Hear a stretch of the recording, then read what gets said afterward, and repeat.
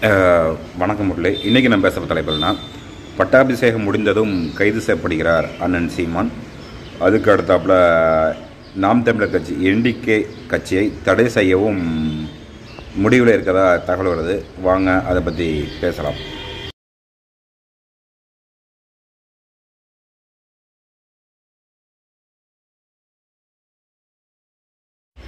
பட்டாபிஷேகம் முடிந்ததும் என்ன கைது செய்யப்படுகிறார் சீமான்? இதை பற்றி தான் பேச போகிறோம் ஸோ அதுக்கு முன்னாடி நான் ஒரு சின்ன ஒரு விளக்கத்தை கொடுத்துறேன். என்னடா இவன் கண்ணாடி போட்டுட்டு பேசுகிறான் அவ்வளோ பெரிய பில்டப் கேட்காதீங்க.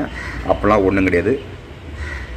கண்ணு வலி மெட்ராஸை வந்துடுச்சு ஸோ இதுன்ட்டு பேச முடியாது. கண் வேறு அப்படியே உறுத்திக்கிட்டதுனால என்னால் தான் நான் இப்போ கண்ணாடி போட்டு பேச வேண்டிய சொன்ன இருக்கிறேன். ரெண்டு நாளாகவே கண்ணு உறுத்திக்கிட்டு சரி நம்ம விஷயத்துக்குள்ளே போவோம். என்னென்னா அண்ணன் சீமான் வந்து கைது செய்யப்படுகிறார். எப்போ கைது செய்யப்படுகிறார்?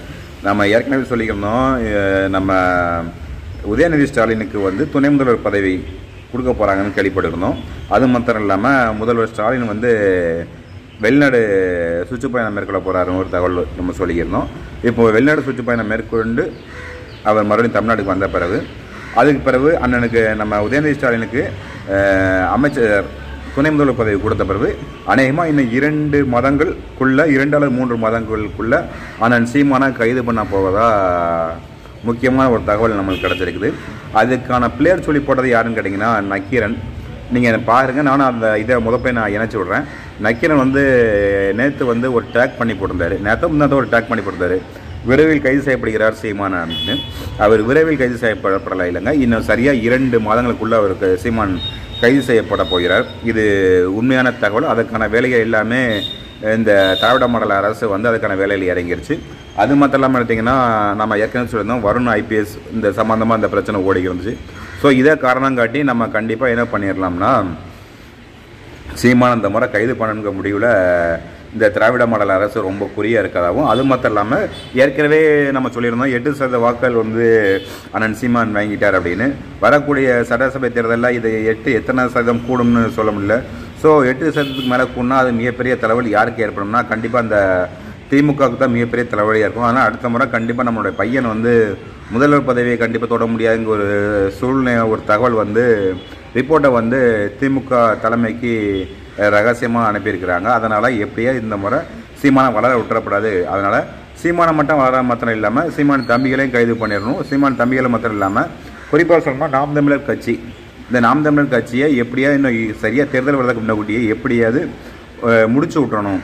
பயங்கரவாதா இல்லை ஏதாவது ஒரு விதத்தில் நாம் தமிழர் கட்சியை மொத்தத்தில் அதை தடை பண்ணிடணும் அப்படிங்கிற இதில் மத்திய அரசும் சரி மாநில அரசும் சரி ரெண்டு பேரும் ஒரே முடிவு இருக்கிறதாக தகவல் வருது. அது மாத்திரமா நீங்கள் நல்லா தெரியும். சில நாளுக்கு முன்னக்கூடிய ஆகஸ்ட் பதினஞ்சு அன்னைக்கு நம்ம ஆளுநர் தேநீர் விருந்து வச்சுருந்தாப்புல அது நம்மளுடைய ஆளும் திமுக அரசு போய் அவங்க கலந்துக்கிட்டாங்க. அது மட்டும் இல்லாமல் எதிர்க்க அவங்களுடைய கூட்டணி கட்சியில் யாருமே பங்கெடுக்கல. இவங்களுமே பங்கெடுத்துக்கலன்னு சொன்னால் பங்கெடுக்கலைன்னாங்க அப்புறம் மறுபடியும் பங்கெடுத்துட்டாங்க. அது மட்டும் இல்லாமல் நேற்று நடந்த சம்பவம் உங்களுக்கு நல்லாவே தெரியும்.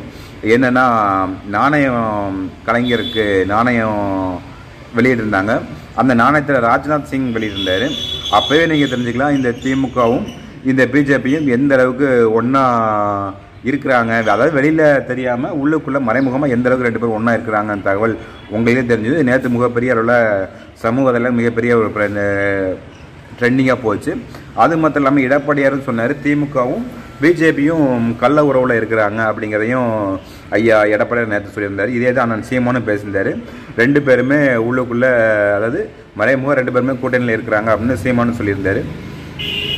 அது மட்டும் சரி நம்ம விஷயத்துக்கு வரும் இப்போ அண்ணன் சீமான் என்ன பண்ண போகிறாங்கன்னா இன்னும் இரண்டு மாதங்களுக்குள்ள கைது செய்யப்பட போகிறாங்க அது மட்டும் இல்லாமல் நாம் தமிழர் கட்சியும் தடை பண்ணதற்கான வேலைகள் ஆல்ரெடி கிட்டத்தட்ட எண்பது சதவீத வேலைகள் நடந்துடுச்சுன்னு அப்படின்னு சொல்லி ஒரு முக்கியமான ஒருத்தர் வந்து நம்மளுக்கு தகவல் சொல்லியிருந்தார். அது மட்டும் இல்லாமல் நாம் தமிழர் கட்சிக்குள்ளே இருக்கிற சில கருப்பாடுகளை வச்சு மறுபடியும் சொல்கிறேன் நாம் தமிழர் கட்சிக்குள்ளே இருக்கிற சில கருப்பு ஆடுகளை வச்சு அண்ணனை கைது பண்ணதுக்கு பிறகு அந்த கருப்பு ஆடுகளை வச்சு நாம் தமிழர் கட்சியை செதைச்சு ஒன்றும் இல்லாமல் மறுபடியும் சொல்கிறேன் ஒன்றும் இல்லாமல் ஆக்கணுங்க முடிவில் மாநில அரசு மாநில கட்சியும் மாநிலத்தில் உள்ள கட்சியும் மத்தியில் உள்ள கட்சியும் அதுக்கான வேலைகளை இறங்கிட்டாங்க.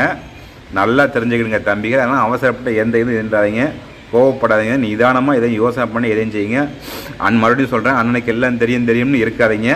தெரியாத விஷயத்த அண்ணன் சொல்லுங்கள் அதனால் அண்ணன் அடுத்த ஸ்டெப்பு சட்டப்படி என்னென்ன செய்யணுமோ அதுக்கான வேலைகளை தம்பிகள் அதுக்கான வேலைகளை செய்யுங்க. கோவப்பட்டோ ஆத்திரப்பட்டோ எதையும் சாதிக்க முடியாது.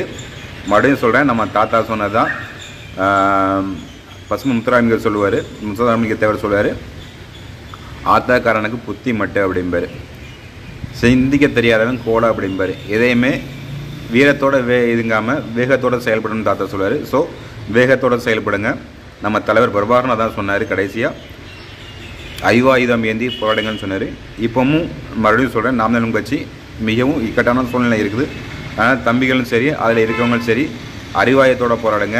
அவசரப்பட்டு எந்த ஒரு தவறான முடிவுகளும் எடுத்து மொத்தத்தையும் இழந்து விட்டுறாதீங்க. மறுபடியும் சொல்கிறேன் சீமானா கைது பண்ணதுக்கான வேலைகள் நடந்துக்கிட்டு இருக்குது. அநேகமாக இன்னும் இரண்டு மாதத்தில் அண்ணா கைது பண்ணிடுவாங்க அதுக்கு பிறகு அந்த கருப்பாடை வச்சே நாம் தமிழர் கட்சியை சதைக்கிற முடியல இருக்கிறாங்க. அதனால் தம்பிகள் கவனமாக இருந்து கட்சியை கட்டமைக்கான வழியில் பாருங்கள் சட்டப்படி இதை எப்படி எதிர்கொள்ளணுமோ அப்படி எதிர்கொள்வதற்கு பாருங்கள் எனக்கு கிடைச்ச தகவலை நான் உங்கள்கிட்ட சொல்லிட்டேன். இதுக்கு மேலே என் கையில் எதுவும் இல்லை. கவனமாக இருங்க தம்பிகளே. அதுக்கான சட்ட போராட்டங்களை அதுக்கான வேலைகளை சரியாக செய்யுங்க. ஆனால் அண்ணன் சீமன் கைது செய்யப்படுறது போடுறது ஹண்ட்ரட் பர்சன்ட் உறுதின்னு மாத்திரம் எனக்கு தகவல் கிடச்சிருக்குது. அநேகமாக இது துணை முதல்வர் பதவி கிடைச்ச பிறகு இதுக்கான வேலைகள் நடக்கும்னு அந்த தகவல் எனக்கு வந்திருக்கு. அதனால் தம்பிகள் கவனமாக இருந்து அதுக்கான வேலைகளை முன்னெடுப்பில் தடு இதை அதாவது சீமான் க சட்டப்படி போட்ட சட்டப்படி என்ன பண்ணணுமோ அதுக்கான வேலைகளை செய்யுங்க. முக்கியமாக கட்சி கட்சி உடப்பட உடைக்கப்பட போகிறதா தகவல் வருது. அந்த கருப்பாடு மூலிமா ஸோ அதனால் அந்த கருப்பாடு மேலே ஒரு கண்ணை வச்சுக்கிடுங்க. ஸோ எனக்கு தெரிஞ்சதை நான் சொல்லிட்டேன். அதுக்கு மேலே உங்கள் கையில். நன்றி. வணக்கம்.